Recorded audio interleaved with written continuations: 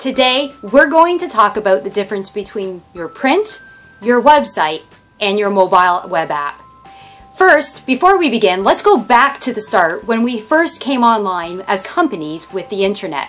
If you remember, at that time, many marketers made the mistake of believing that they could take what they were doing in print and put it on to the web and kill two birds with one stone.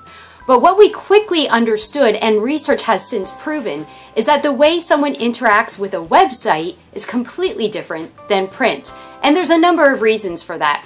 First, we as humans, we don't really like reading from light sources, which means instead of reading word for word like we would with print, we actually scan on websites. The other thing is it's a much smaller screen. So when you take a smaller screen and you put a light source on it, that means that your users are going to scan, not read.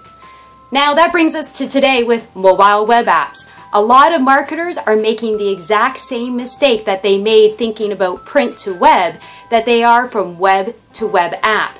They think if you have a mobile optimized website, that will be good enough. And unfortunately, that is simply not the case.